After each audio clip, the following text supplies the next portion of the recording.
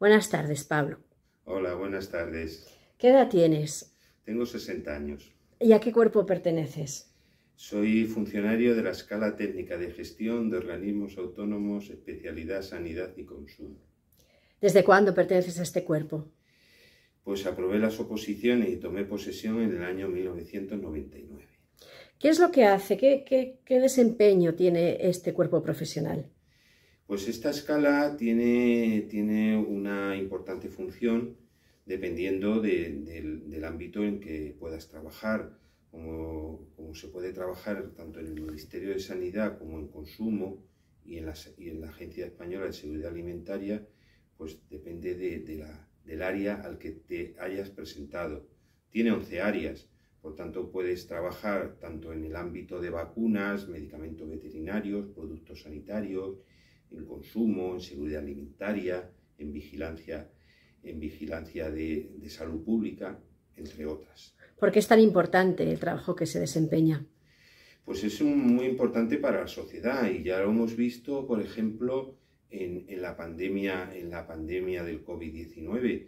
Eh, eh, todas las personas que trabajaban en la agencia, sobre todo en vacunas, pues era muy importante en salud pública, en la Dirección General de Salud Pública, en, en farmacovigilancia, o sea que es una, un área de, es una oposición, un proceso selectivo en el, que, en el que es importante tanto la ciencia de la salud como la, la ciencia en general.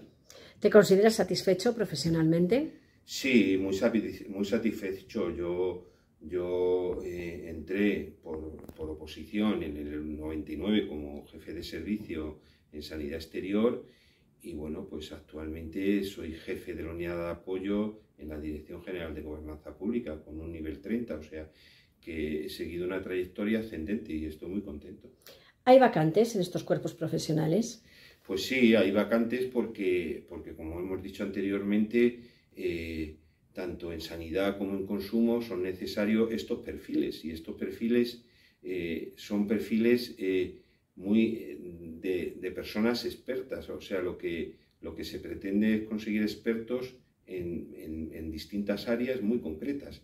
Y entonces sí que hay vacantes. De hecho, en las últimas oposiciones, que, es verdad que se unificaron dos ofertas de empleo público, eh, se convocaron más de 120 plazas y anualmente lo habitual son entre 70 y 80.